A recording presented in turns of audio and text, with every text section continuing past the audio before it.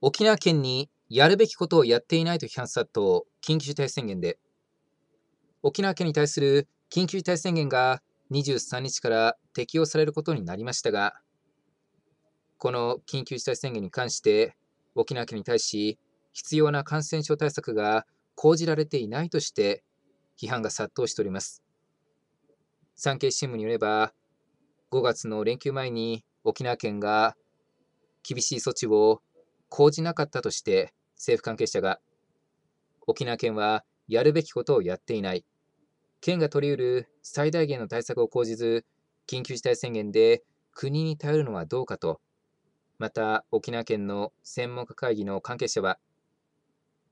連休中の人出で変異株が広まり感染が拡大するのは予測できた。結果論だが連休前に緊急事態宣言を政府に要請すべきだったとなっておりまして、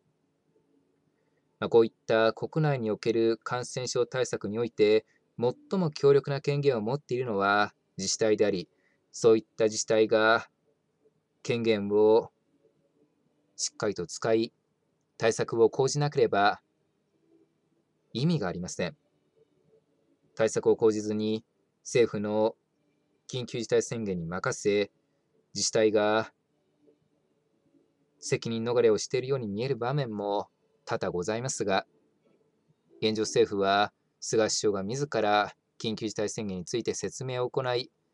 何度も国民の皆様に謝罪をし、協力を要請されておりますけども、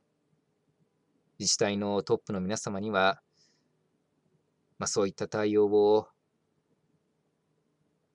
なされているのが、もうほとんどですね、見えてまいりません。特に沖縄県においては、このような感染拡大となっていても、コロナ禍で1年以上経っていても、反基地で反政府というような動きもあり、政府や沖縄県民また国民の皆様に対して県が感染症対策を最優先としているとしっかりと受け止めていただくためには、まあ、そういった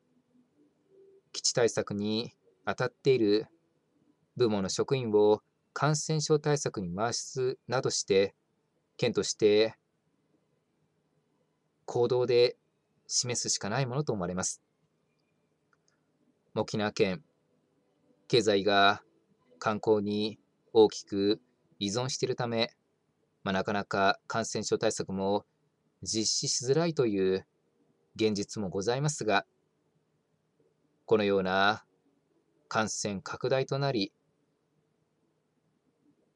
緊急事態宣言となってしまいますと、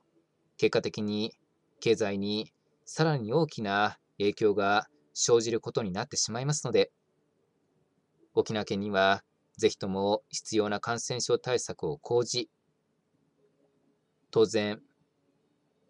国民の皆様に対しても、県民の皆様に対しても、必要な支援策も講じていただき、なんとかコロナ禍が乗り切れるように、コロナ禍を乗り切れるように、県民の皆様に協力していただけるような感染症対策を速やかに講じていただくよ